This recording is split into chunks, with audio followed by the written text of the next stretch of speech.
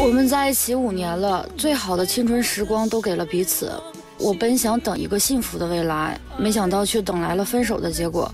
如今分开了一段时间，也冷静了许多，他依然在我心中占据着重要的位置。和他在一起时，我在经济、精神各方面压力都很大。我要的不多，只是他一句安慰和体谅的话，他却毫无感觉。一再索取，虽然我很舍不得，但现在自由和解脱才是我最舒适的状态。有请这对嘉宾，有请。刘先生，二十九岁，来自内蒙古职员，有请。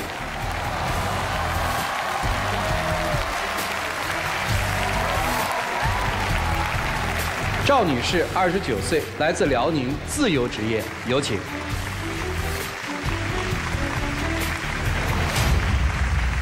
欢迎两位哈，这位是您的前女友，对不对？是。这位是您的前男友。是。这这这前男友前女的跑我们这儿来干嘛呀？你们都分手了吗？不是，分手了吗？嗯，藕断丝连。藕虽断了丝还连哈。谁谁粘着谁呀？我连他。谈了多久恋爱？曾经。谈了五年。为什么分手呢？嗯，是这样的，就是。我们不在一起五年了嘛，然后中间我一直都没有工作。近段时间我做了一个主播的工作，他就不是特别的满意。中间我们也争吵过几次，后来他就不联系我了。你们俩谈了五年恋爱？对。您没工作？没有。那就说你养着他？对。现在他有了一份工作了，是做主播？对。要独立工作挣钱了？对。你不愿意了？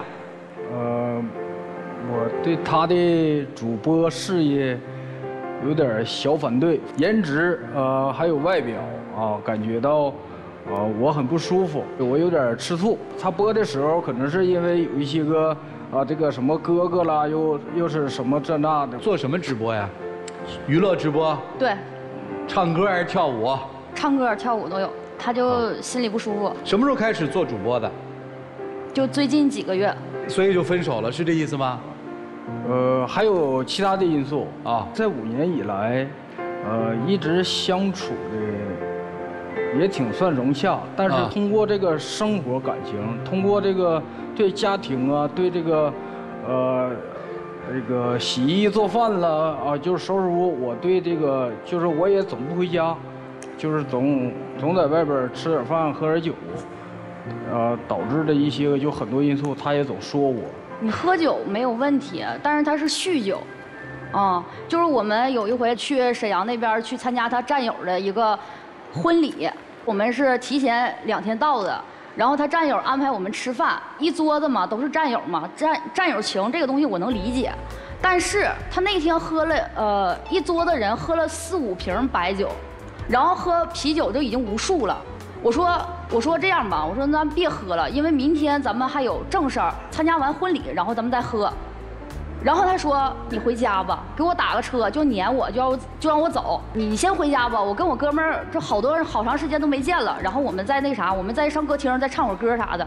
然后就一个劲儿的推我，让我让我上车，然后我就觉得心里特别不舒服啊。当时我俩就是在饭店的时候也没给他留面子，然后我们俩就。动手了。主要是因为因为所有的战友都没带着对象，我就你一个女生。有些时候，因为男生喝完酒之后吧，有些个玩笑吧，你说我要是跟战友急了吧，还不好；你要是说跟你要是玩笑深了吧，我还有挺介意。所以说，我就让你回去。我在旁边，我可以照顾你啊。你喝成那样的，我我肯定不放心呐。你就让我自己回去啊。再说我也不害你事啊。不是你刚才说的动手是他跟你动手，还是你们俩互相撕巴起来？当时这样的，就因为他喝多了嘛，一个劲儿的让我让我走嘛，我就挺来气的，然后我就把他把他们那个桌子给掀了，然后他感觉特别没面子，然后他就给我动手了。